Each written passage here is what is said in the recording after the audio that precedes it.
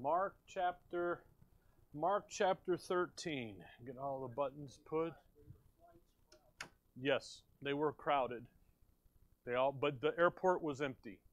So figure that out. American. That's the only one to fly. Mark 13, if you will. Uh, we're, we're down in uh, verse 30 and 31 and following, so we'll start reading here at verse 28 and um, move on down. Now learn a parable of the fig tree.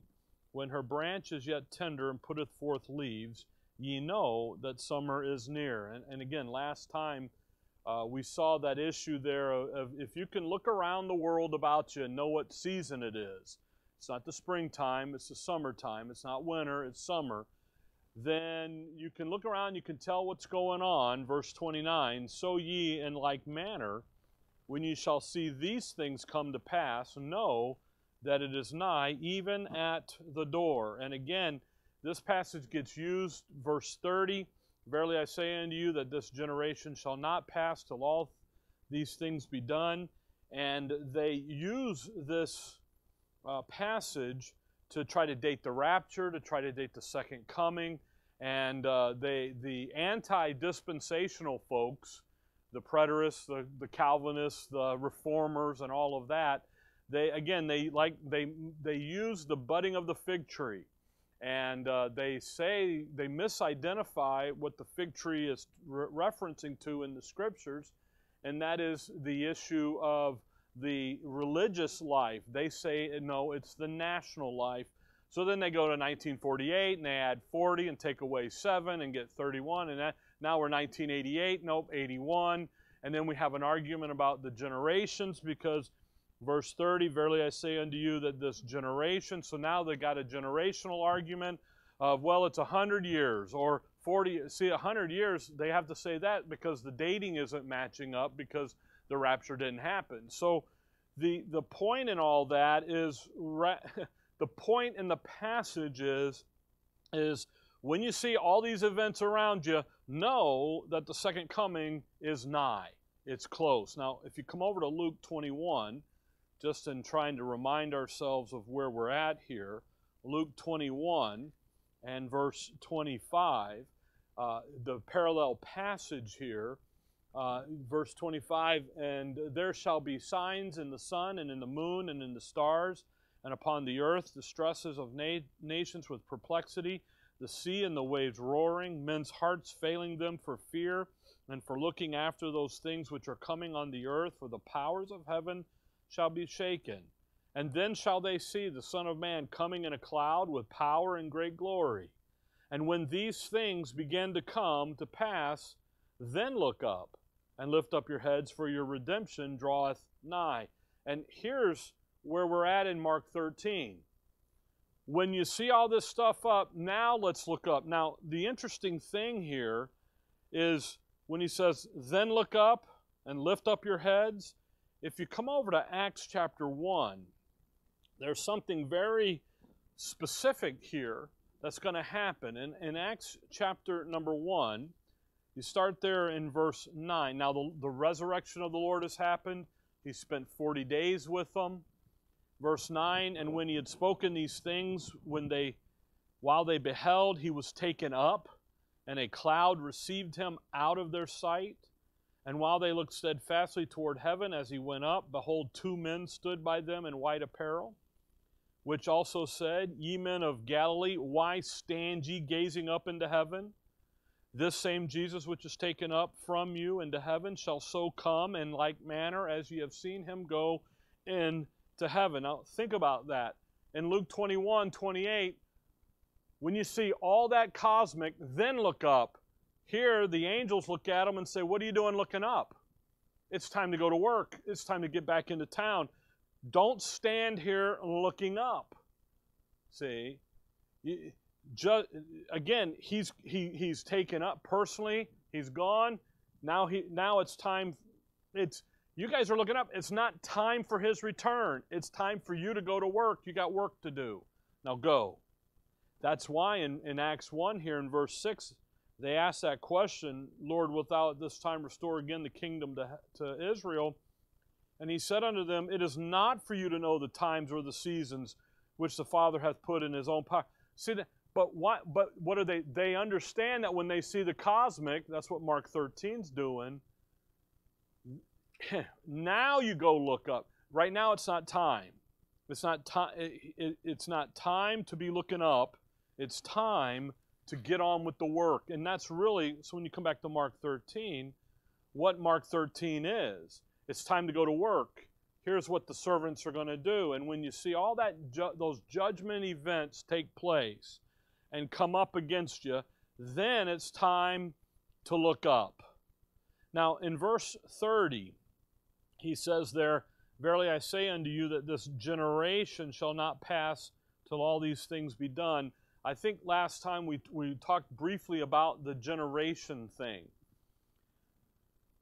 They will say a generation it's not always time. Actually it's very rarely time unless the context says so. And again they'll say 100 years they'll say 33 years by the way 33 is the perfect generation time wise that matches the lord some will say 40 but then you got to you know you, you, you, got all of that that's really not what he's talking about here uh, come back with me to matthew he's really talking about generate. These are the ones who live in the line of. Where did it come from is what is really the issue. Uh, look at Matthew 3. It's really the issue in the scriptures, not how long did it last. The issue of generation is where did it come from? Where did it start? What's the lineage, the line? Uh, if you look at Matthew 3, verse 7, but when he saw many of the Pharisees and Sadducees come to his baptism, he said unto them, O generation of vipers, who hath warned you to flee from the wrath to come? You see, the, who's the viper? The adversary, Satan is. That, that, so they're really of who? Generation. They're being generated, and John, he calls them, You're of your father, the devil. You come over to chapter 23. So when you think about generation, what all of the prophecy guys say is that's the people in the moment. But in the scriptures, it isn't the people in the moment. It, well, it's more than just the people in the moment. It's this lineage, this line. Where did all this wicked generation starts in Genesis 4 with Cain. And it's, it's not a ta- time element, it's who are, who are they following? Who's, who's in this long line? Matthew 23, if you look there at verse 29. In Matthew 23, you have the woe unto you, scribes and Pharisees, hypocrites.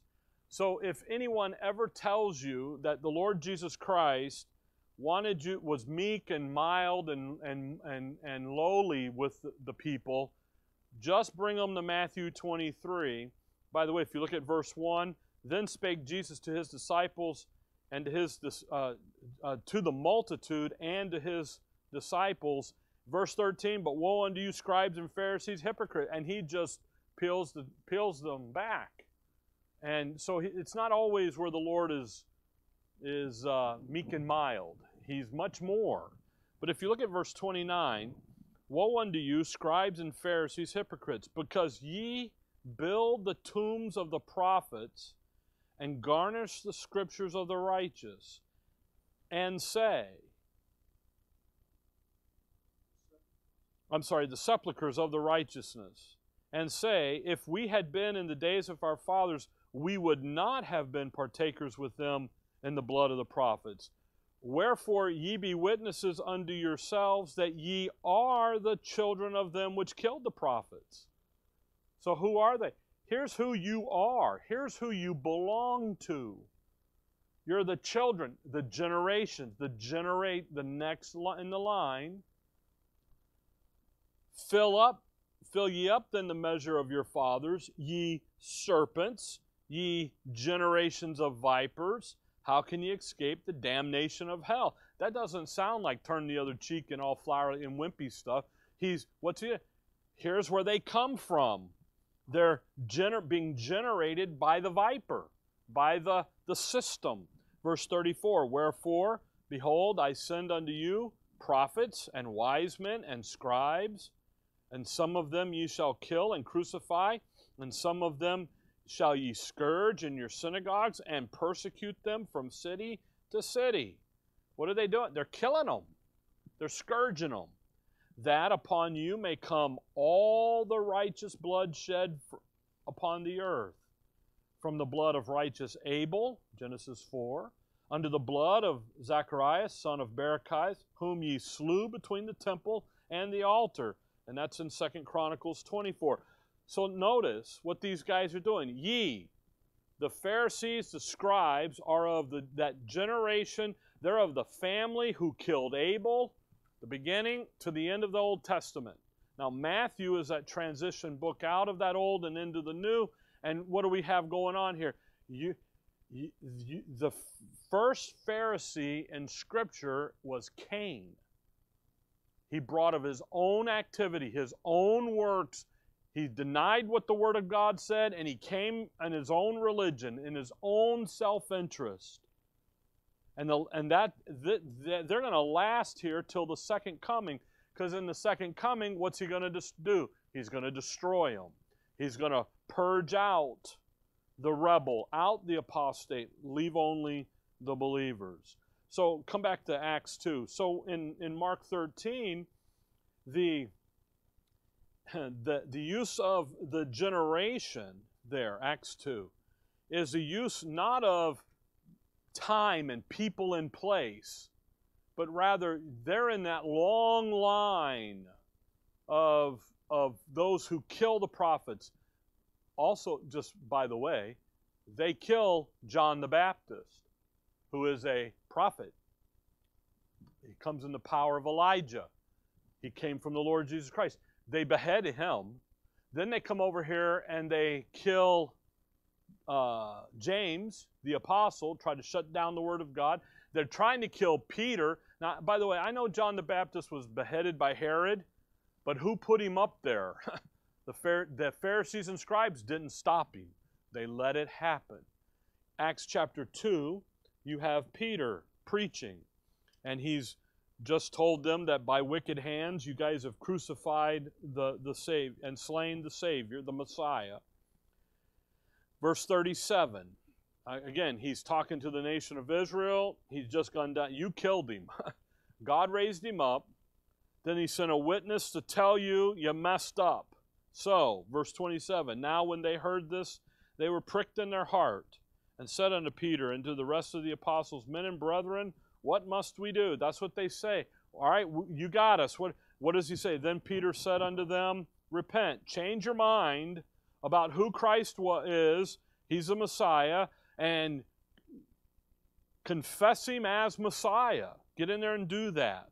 And be baptized, every one of you, in the name of Jesus Christ for the remissions of sins, and ye shall receive the gift of the Holy Ghost. Let's be baptized. Let's get you into that little flock. Let's get you over there. Now, drop down to verse 40. And with many other words did he testify and exhort, saying, Save yourself from this untoward generation. Notice that. You need to, untoward. So if I'm going toward something, untoward means I'm going the other direction. If I'm to go to that do- door back there, I'm going that way. Untowards, turn around and go the other way. You need to get out of, you need to get going in a different direction than that apostate generation. You need to get out of that apostate generation because that's the nation that the wrath of God's going to come on when he's going to purge them out. So this is about the the the identification of the apostate nation and the believing remnant. That's what judgment in Scripture is really ultimately about. And what's he going to do? At his coming, he's going to destroy that apostate, that generation of viper. It's going to come to an end. So the generation of vipers, it starts with Cain and it culminates in the Antichrist. And he's going to wipe it out. So when we come back to Mark 13, I, I, couldn't remember if we talked about that briefly or not, but don't always get tripped up in generation and in time. When Moses sends the spies in and they come out and they say, now this generation can't go forward. That's time, but it's also people, but it's also unbelieving people within the nation because the 10 uh, spies said no. the two said yes. So there's a believing remnant that believed and said, yes, let's go in. That's all the people. But then he says, this group, no, you're not going in. So we got to get them to die off. Now, naturally, the uh, believer of old age would die off in that time. But so it's generation of more than just time and energy and so forth. So, back to Mark 13. Now, it if you look at verse 30, verily I say unto you that this generation shall not pass till all these things be done. Notice it's going to take, it doesn't say, notice it doesn't say they're going to be lost. It doesn't say any of that. It doesn't say they're going to last. It, it says, when the Lord comes back, when He comes back in power and great glory, it's going to, He's going to destroy the adversary, He's going to destroy the system. Now, watch verse 31, okay? Because here's the certainty of it. Now, verse 31 is a great verse that people use with the Bible issue and everything, and that's great. But in the context, heaven and earth shall, pa- shall pass away, but my word words shall not pass away. So notice very careful a couple things happening here as we look at this verse. Because here's the certainty of it. And the idea is, is if you can get rid of heaven and earth,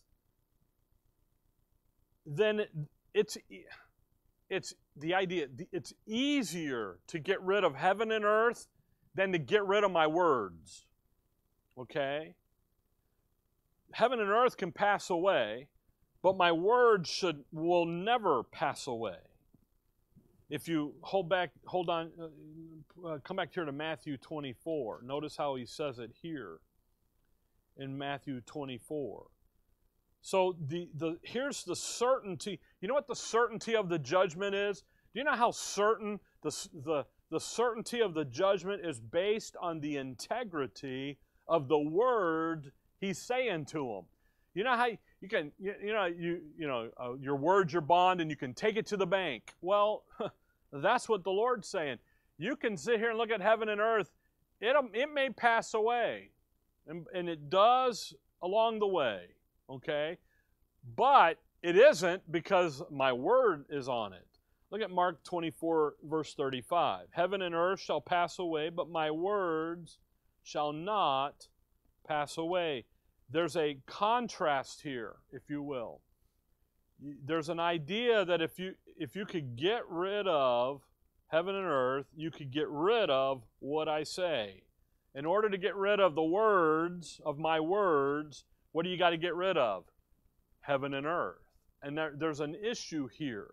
Uh, if you come back again, when you think about heaven and earth passing away, come back with me to over with me to 2 Peter. 2 Peter 3. The present form of heaven and earth will pass away. Look at 2 Peter 3, look at verse 10. But the day of the Lord will come as a thief in the night, in the which the heavens shall pass away with a great noise, and the elements shall melt with fervent heat the earth also and the works that are therein shall be burned. Seeing then that all those things shall be dissolved, what manner of persons ought ye to be in all our holy conversation and godliness? Verse 13 Nevertheless, we, according to his promise, look for new heavens and a new earth wherein dwelleth righteousness. So there is, Peter does say these, these elements are going to pass away, but yet not the issue of a heaven and an earth, and that's because the system of heaven and earth will never go away. It'll be repurposed. And again, it, it, it was, come back with me to Jeremiah 31. Let's work this out a little bit here. because there's more here than just Jeremiah 31, than just a pacifying verse to, to use in the issue of arguing the Bible thing. And you can, it's a great verse. Heaven and earth shall pass away, but my words shall never. And it's right. They'll never, the words will never go away. But there's something more going on in the context. Jeremiah 31, you've got 31 to verse 34. The new covenant issues are given. Look at verse 35. Okay? So in 31 to 34, he gives the new covenant. Now he's going to he's going to talk about the second coming. Thus saith the Lord, which giveth the sun for a light by day, and the ordinance of the moon and of the stars for a light by night, which divideth the sea when the waves thereof roar. The Lord of hosts is his name. The one who created is the one who divided it up. But he does it for a purpose. And again, Proverbs 3 19 and 20, by wisdom he founded and he created. Now watch verse 36. So, so you've got these ordinances in place, the creation. If those ordinances depart from before me, saith the Lord, then the seed of Israel also shall cease from being a nation before me for how long?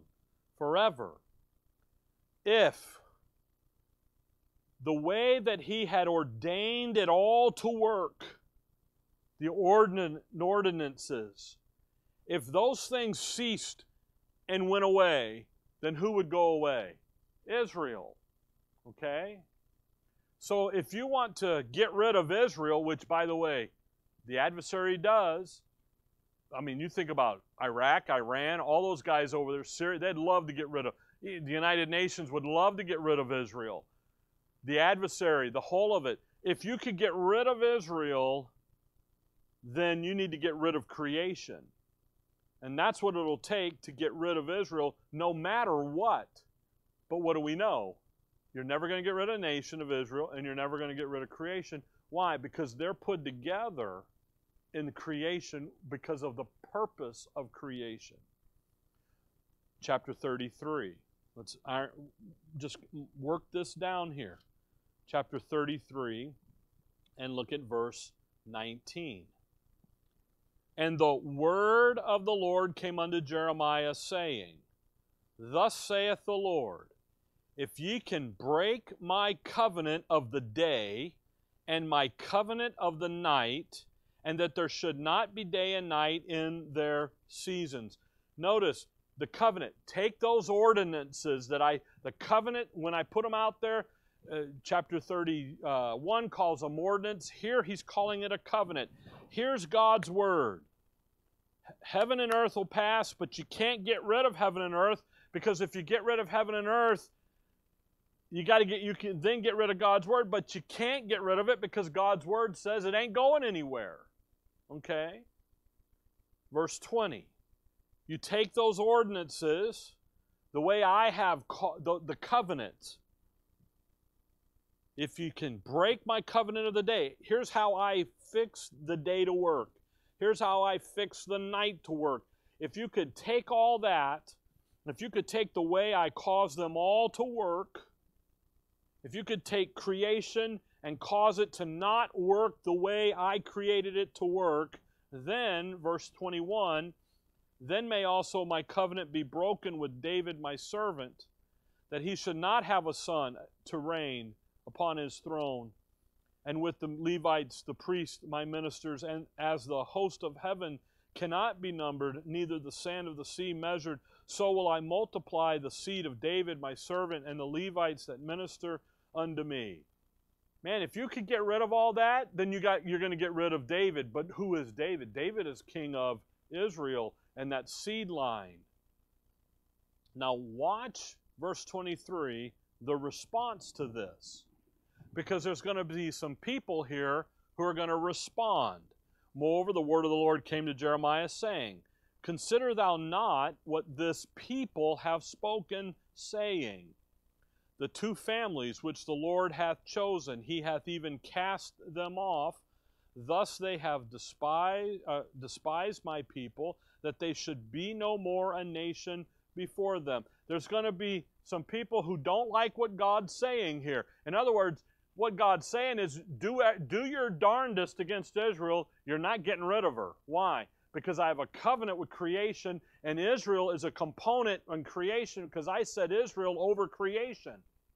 I set man over creation. Man fell, became the seed of the woman. That becomes the seed of Abraham and Isaac and Jacob. And I went to David and made an oath with David that the seed of his loins were going to sit on there on the throne. So we're all connected here. And what's holding it together is his word. Two families. Make them what? No more a nation. You know what they'll say, verse 24? Just make, just get rid of Israel. Just get rid of her. No more families. They're going to say that. By the way, Psalms 83 identifies who says that. okay? Who want to make Israel not a nation. That's 10 confederates, nations, and everything, and so forth. Verse 25 Thus saith the Lord, If my covenant be not with day and night, and if I have not appointed the ordinances of heaven and earth, then will I cast away the seed of Jacob and David my servant so that I will not take any of his seed to be rulers over the seed of Abraham, Isaac, and Jacob, for I will cause their captivity to return and have mercy upon them. The only way to get rid of Israel and the covenant with them, who he gave to oversee the earth, is to get rid of the earth. And guess what? That's not going to happen Come back to Genesis 9. Genesis chapter 9. A very fascinating thing here about creation. Genesis 9. The first time that God says that He is going to make a covenant is here with Noah. The fir- after the flood, He sends Noah into the earth, and for the very first time, not, uh, chapter 9, verse 8, and God spake unto Noah and to his sons with him, saying, And I, behold, I establish my covenant with you and with your seed after you. The first time he ever says, I'm making a covenant in Scripture is, is right here. Now, watch what it is. Verse 10, and with every, I'm making uh, the end of verse 9, and with your seed after you, and with every living creature that is with you, of, of the fowl, of the cattle, and of every beast of the earth with you, from all that go out of the ark to every beast of the earth. And I will establish my covenant with you.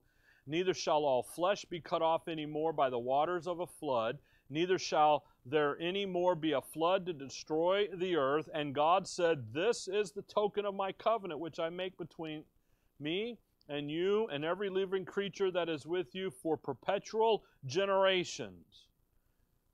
I'm going to establish my covenant with you and with the seed. Verse 13 I do set my bow in the cloud, and it shall be a token of a covenant between me and, notice that, the earth. Well, who's in the earth? Man came from the earth, man and all that animal creation, and he says, You know what I'm going to do? I'm going to set my bow, that rainbow. In Ezekiel chapter 1, that rainbow, Ezekiel's caught up to the throne room, and that rainbow is there. And he sees the glory of God as a rainbow. What does the rainbow do? It, it manifests all the colors of light as light comes through that. And it's around that, that coat of many colors. And the the rainbow is demonstrating his glory.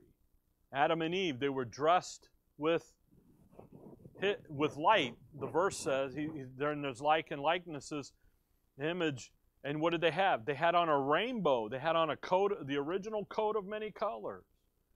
And he says, "Here's my covenant." But what I want you to catch is with the earth and the earth, a token of it.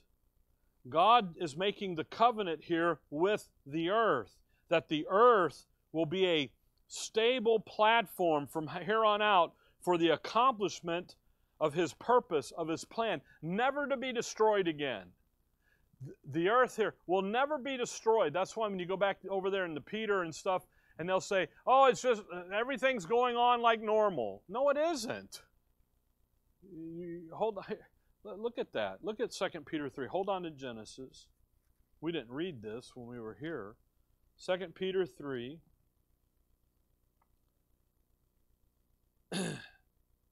and he says there in verse 4 and saying, Where is the promise of his kingdom? For since the fathers fell asleep, all things continue as they were from the beginning of the creation. For this they willingly are ignorant of, that by the word of God the heavens were of old, and the earth standing out of the water and in the water, whereby the world that then was, being overflowed with water, perished. But the heavens and the earth, which are now, they skipped the flood. They said they just went back to Genesis 1 1 and they said it's been going on the same. And Peter, no, it hasn't. There's been judgment in there, a picture of what's coming, and so on. So go back to Genesis 9 because of the time. So we got verse 13, a token. So what the Lord, what God's doing here is He's making a covenant with the earth that the earth is going to be that stable platform now for the carrying out of His purpose. Verse 14, and it shall come to pass when I bring a cloud over the earth, that the bow shall be seen in the cloud. And I will remember my covenant, which is between me and you and every living creature of all the flesh, and water shall no more become a flood to destroy all flesh. And the bow shall be in the cloud, and I will look upon it, that I may remember, watch that, the everlasting covenant between God and every living creature of all flesh that is upon the earth. Now, notice how he says everlasting covenant. That means what? It's going to last forever. And he's going to use, now come over to chapter 17.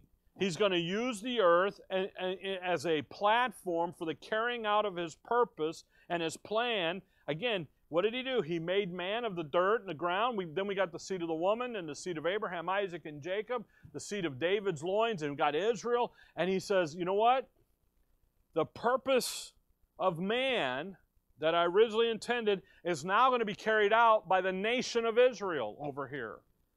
And I made a covenant that that earth is going to be there forever. It's never going to go away. And my word, it ain't going away. Now watch Genesis 17. Look at verse 6. God talking to Abraham. And I will make thee exceedingly fruitful, and I will make a nation of thee, and kings shall come out of thee. And I will establish my covenant between me and thee and thy seed after thee and their generations for an everlasting covenant to be a God unto thee and to thy seed after thee. Again, Abraham, everlasting covenant. Now, the focus of God's plan on the earth is now going to focus in the nation of Israel. So, the focus of God's purpose and plan in the earth has now shifted Israel. Verse 8 And I will give unto thee and to thy seed after thee the land wherein thou art a stranger, in all the land of Canaan for an everlasting possession, and I will be their God. Now, Israel, where man failed, Israel is now going to take up the baton, if you will, in that everlasting covenant where he's promised it to the earth. And it can't be stopped. Come over to Psalms 72. Psalms 72. This is a psalm for Solomon from dad to son, David. Here, the verse 20, the prayers of David, the son of Jesse, are ended. And David is going to talk here, verse 1 Give the king thy judgments, O God, and thy righteous righteousness unto the king's son. Verse 4 He shall judge the poor of the people, he shall save the children of the needy, and shall break in pieces the oppressor. There's the Antichrist. So we got to look ahead here. Verse 5 They shall fear thee as long as the sun and moon endure throughout all generations. Notice that. How long is this going to last? As long as creation is there. How long is that? Everlasting. Verse 17 His name shall endure forever. His name shall be continued as long as the sun, and men shall be blessed, uh, as the son, and men shall be blessed. All nations shall call him blessed.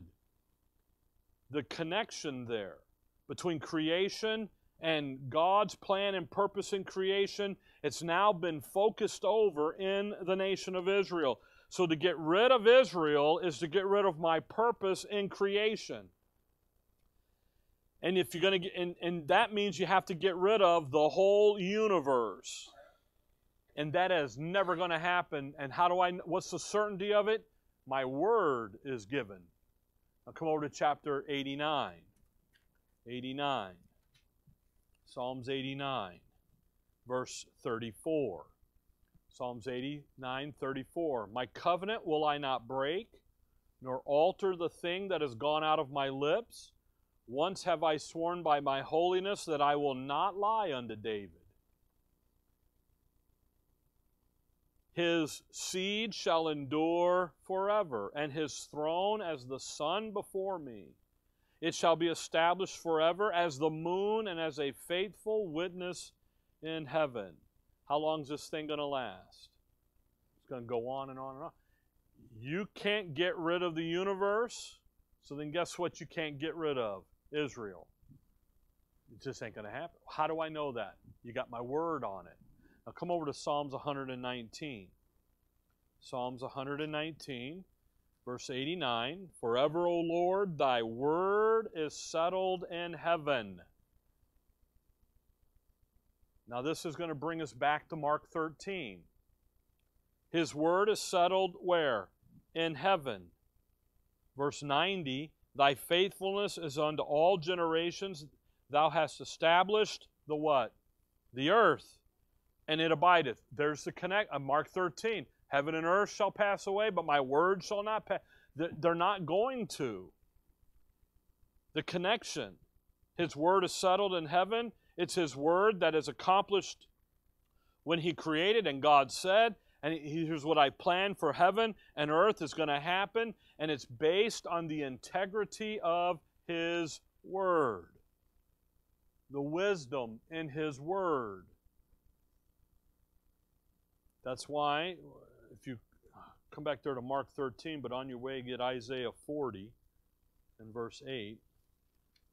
That's why in the garden, what did he what did Satan say? Yea, hath God said. And again, it's the attack on the integrity of God's word. That's what it is. So in Mark 13 31, heaven and earth shall pass away, but my words shall not pass away. Isaiah 40, verse 8 is a great verse for that. The grass withereth, the flower fadeth, but the word of God shall stand forever. If you think you can get rid of heaven and earth. You can just forget about it. Why? Because my word is it ain't going it's not going to pass away. It's everlasting covenant. Because of my my words won't pass away, then creation won't pass away because my words are demonstrating the purpose I have in creation. So in order for my word to be true, creation has to be there. Israel has to be there. So when you come back to Mark 13, when he says heaven and earth shall pass away, it, it, it's, it's more of a, it's a more, it's, it's not a statement of fact this is going to happen. It's a, here's how you know what I'm talking about is going to happen. Because heaven and earth can't because of my words, the certainty of it. Now, if you'll look at verse 31, but my words, notice it's a plural, the plurality. So when you have the word, you have the whole thing. But the whole is made up of the sum of the parts, words. And the reason it says words here is because he's talking about the details in the word. Come, up, come back to Jeremiah 15. All right? It's not just simple, it's not simply the word, in other words, the overall message and idea and theme but it's the words, the, plur- the details that make up the word. And that's very important to notice because, again, we use Mark 13 and we get all wrapped up in the Bible discussion and we forget about it's really, we get down in the weeds here, the details of it. Jeremiah 15. Look at verse 16. Watch this. Thy words were found, and I did eat them. And thy word was unto me the joy and rejoicing of my heart, for I am called by thy name, O Lord God of hosts. Notice, see the diff- see the use of both words. I took in the details of what you said, and the sum of it was my joy and rejoicing. The word is made up all of all of the words, the details. And that's critically important to catch here. Uh, come back to chapter 11 of Jeremiah. 11, verse number 3. And say thou unto them, Thus saith the Lord God of Israel, Cursed be the man that obeyeth not the words of this covenant. Now, this is going to drag us back to Deuteronomy 4, so might as well go back to Deuteronomy 4. But notice it's the words of the details of the covenant. It's not just enough to say I pay attention to the covenant, but it's it's I I it's not just the idea, the sentiment, the tone, the tenor. It's down in the details of it. That's what this is all about here. He's not saying heaven and earth uh, can't pass away because I gave my word on it. He says, No, it's in the details. Why? Because I made man to be over the earth. They failed. Then I moved it to the seed of the woman Abraham, Isaac, and Jacob, David, and Israel. And this, that's the details of it. What's his word? The heaven and earth is, will never pass away. See? Well, here's the details of it. Look at Deuteronomy 4. And that's why I. Pay attention to every little thing here. Verse 1 Now therefore hearken, O Israel, unto the statutes and unto the judgments which I teach you, for to do them that ye may live and go in and possess the land which the Lord God of your fathers giveth you.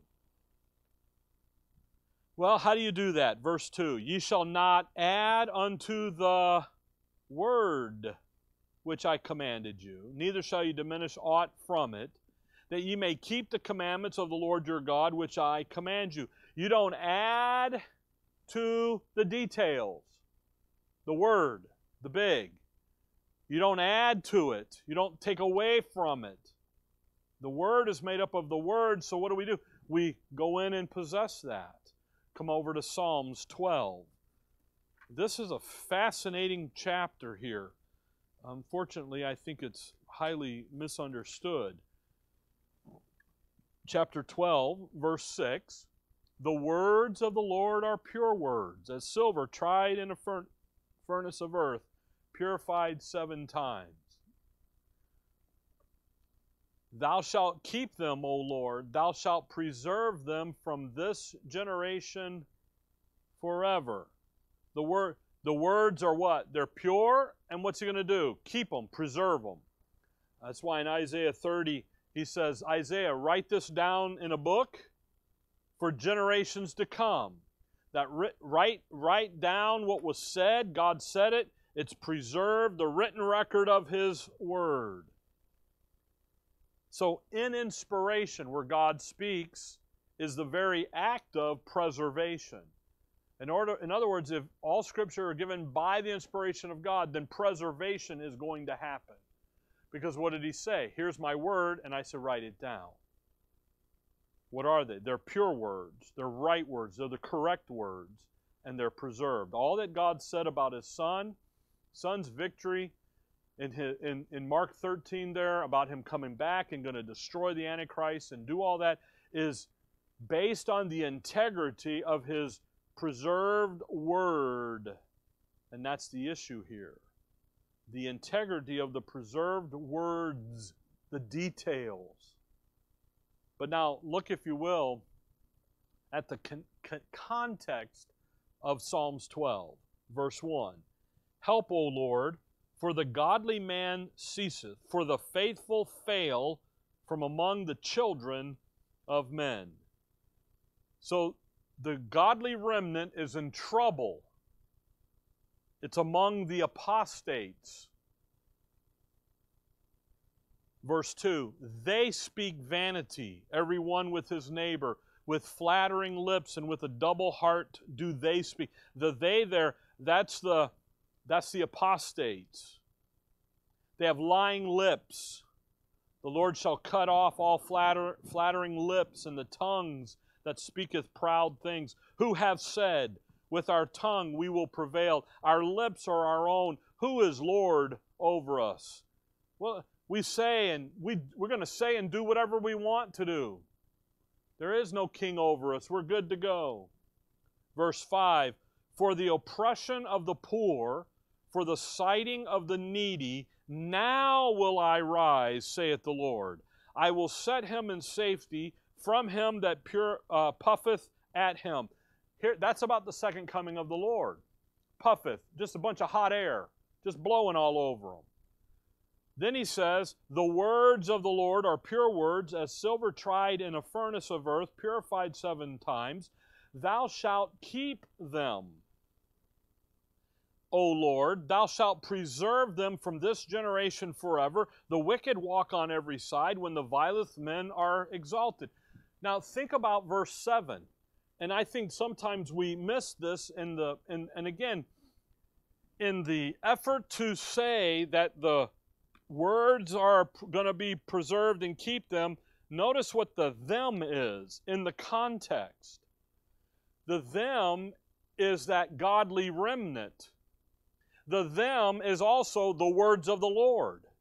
Well, who's going to have the words of the Lord in the midst of the tribulation? The little flock is. So when you read, that's why in Psalms you can read and you can say, is that David? Is that the Lord? Is that the remnant? Who is this? Well, it's yes, yes, and yes. He's talking about all of them. So when you think about he's he's promise, his promise of deliverance is based on the certainty, it's based on the contrast of lying lips and the adversary and the integrity of God's word. What did the word say? The word says, I'm delivering you. The word says there's a table in the wilderness that'll take care of you. The word says that when you see that in Judea, flee to the mountains. It's time to get out. And what but what does the adversary say? Oh no, don't. Just come on down here. We're good to go. I'm God. We're good to go. Everything's fine. And he says, "No, the word has been settled in heaven. The words are settled. They're settled back there in eternity past. We're good to go." So, so when you and if you want to say verse 7 is talking about the word of God, that's fine. I think it's talking about both the believing remnant and the words are purified seven the word of god why because who's got the word it's going to be that believing remnant so when you come back to mark 13 31 it's about the the the certainty of god's word how do we get rid of it well the only way you can do that is to come in and get rid of his word.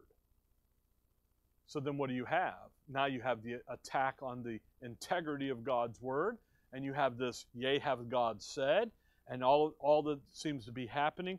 Look, they know they can't go out there and make the sun go away and the moon go away and all that good stuff. But then what do we do? We go, get, we go remove the word of God the very words that say all of those ordinances have to stay. Verse 31 Heaven and earth shall pass away, but my words shall not pass away. The judgment's coming, and it's all based on what His Word has said. And you know what? You can't do anything about it. It's coming. So, verse 32 But of that day and that hour knoweth no man, no, not the angels which are in heaven, neither the Son, but the Father. Now, that's a heavy verse. We'll get more into it next time. But you know what? You know what he's basically saying is, is you can't know based on your own experience. It's that verse in 1 Corinthians where eye hath not seen, ear hath not heard, and the heart of man have never thought about what the thing, you know, you can't get there on your own. You have to get there based on his word. In a time of uncertainty, of not knowing, the believing remnant have the certainty of God's Word, of a book. And you know, we do too. In times when we don't have the, we are uncertain and we're not sure. We have the certainty of what? God's Word. That's why we're a people of a book. That's why we are Southwest Bible Fellowship. I wanted Bible Church, but that was too close to the radio guys at the time. Why? Where Bible is the center. Why? Well, the book changes your life. It was said, uh, we possess a book, and we need to let the book possess us. See, and that's a very good statement. So here in verse, again, we're going to stop because, uh, well, the hour's up because verse 32 is a loaded verse.